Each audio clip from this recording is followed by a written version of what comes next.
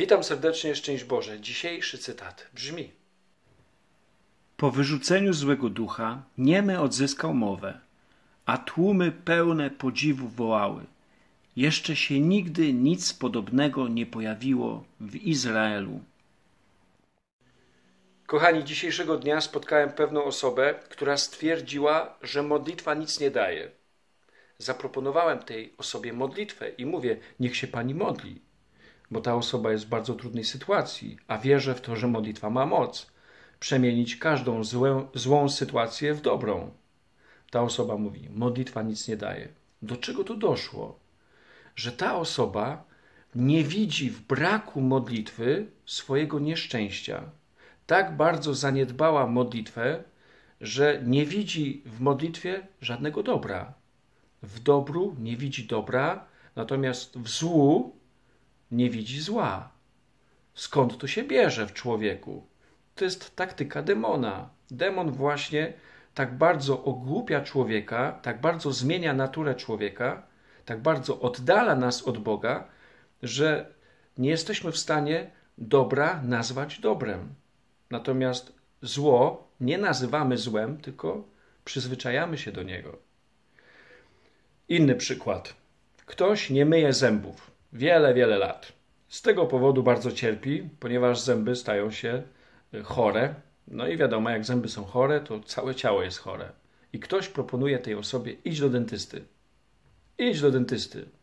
Idź, to nie będzie takie straszne. Gdzie? Dentysta mi nie pomoże. Co ty, jeszcze będzie gorzej. Jak ten człowiek może tak żyć? No może, skoro tak żyje. Oczywiście to nie jest życie. Ja miałem wiele problemów y, z, z wulgaryzmami. Bardzo wielki problem z wulgaryzmami. Co drugie słowo to, było, y, to był wulgaryzm. I z tego powodu nie potrafiłem wypowiedzieć tego, co czuję drugiej osobie. Bardzo szybko się denerwowałem, y, bardzo dużo we mnie było złości, agresji i nie potrafiłem wypowiedzieć się po polsku. Chociaż rozumiałem, co inni do mnie mówią po polsku, to ja nie potrafiłem wypowiedzieć tego, co czuję, bo bardzo we mnie było dużo wulgaryzmów. Zaniedbałem swój język, używając wulgaryzmy. Dzisiaj w Ewangelii możemy przeczytać takie słowo. Kto ma uszy do słuchania, niechaj słucha. Przyprowadzono do Jezusa opętanego niemowę. Po wyrzuceniu złego ducha nieby odzyskał mowę, a tłumy pełne podziwu, podziwu wołały – jeszcze się nigdy nic podobnego nie pojawiło w Izraelu. Zbliżenie się do Boga, zbliżenie się do Jezusa zmieniło tego człowieka e, o 180 stopni. Ten człowiek zaczął mówić.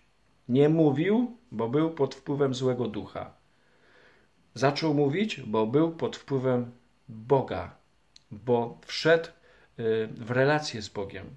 Jak wejdziemy w relację z Bogiem, to demon od nas odejdzie. Oczywiście my musimy zawalczyć o tą relację, nieustannie ją pielęgnować, y, walczyć o nią, y, uczyć się tej relacji z Bogiem. Jak będziemy się jej uczyć, to Bóg będzie nas zmieniał. Słowo Boże mówi tak. Tak Jezus obchodził wszystkie miasta i wioski. Nauczał w tamtejszych synagogach, głosił Ewangelię o Królestwie i leczył wszystkie choroby i wszystkie słabości. W relacji z Jezusem człowiek odzyskuje zdrowie, odzyskuje zalety, staje się lepszym człowiekiem. Widzi teraz e, tak, jak powinien widzieć. E, zaczyna rozeznawać tak, jak powinien rozeznawać. Zaczyna żyć w prawdzie. E, zaczyna widzieć kłamstwo, w którym żył przez wiele, wiele lat. I, i zaczyna się uczyć żyć w prawdzie. Przestaje się bać, przestaje się lękać Bóg, y, y, relacja z Bogiem zaczyna, zaczyna go przemieniać. Czy wierzymy w to? Że relacja z Bogiem nas zmieni na lepsze? Często w to nie wierzymy. Dlaczego? Bo przyzwyczailiśmy się do życia bez Boga, życia bezbożnie i nawet często nie zauważamy, że nasze życie bezbożne jest przyczyną naszych nieszczęść. I, i te nieszczęścia nieustannie się pogłębiają. Często tego nie widzimy. I to jest zwycięstwo szatana. Natomiast jeśli nie chcesz, y, żeby Twoje życie było beznadziejne, żeby Twoje życie było bez sensu, zwróć się do Jezusa. Nawet jeśli nie widzisz w tym sensu, bo jeszcze nie umiesz zobaczyć w tym dobra. Zbliż się do Jezusa, zacznij się do Niego modlić. Jedna modlitwa z serca potrafi nas naprowadzić na dobrą drogę na drogę do dobra, do, do miłości, do miłosierdzia, do wiecznego życia. Jedna szczera modlitwa. Ja powiedziałem tej osobie: OK, jeśli pani się nie chce modlić, to ja się będę modlił za panią. Pani niech tylko wierzy. Chociaż oczywiście wiara jest trudniejsza. Ona się zgodziła. Dobra, ja będę wierzyć, a niech się pan modli. Więc słuchajcie, pomódlmy się za tą osobę, żeby Pan Bóg dał jej e, doświadczenie e, miłości, żeby zauważyła, że w tym spotkaniu naszym jest Bóg. Że w tym spotkaniu, y, które było dzisiaj dla Was wczoraj, jest jakiś zalążek relacji z Panem Bogiem. Zresztą módlcie się także za tym panem, który stał za mną w kolejce, bo to było w sklepie, i przysłuchiwał się tej rozmowie i był po prostu oniemiały. Stał i słuchał i był aż taki zdziwiony, jak można mówić o Bogu w sklepie, nie? robiąc zakupy.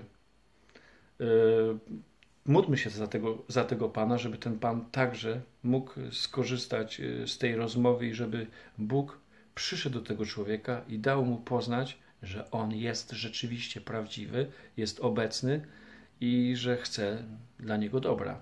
Amen módlmy się, nie, nie, nie, nie, nie bójmy się modlić, nie, nie rezygnujmy z modlitwy, bo modlitwa jest większym dobrem niż myślimy, naprawdę większym dobrem.